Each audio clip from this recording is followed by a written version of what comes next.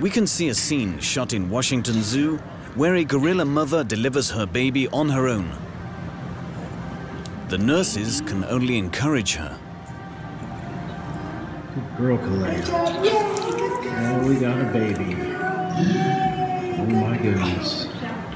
Good, Calaya. We have got a baby. Good, Calaya. Okay. Okay.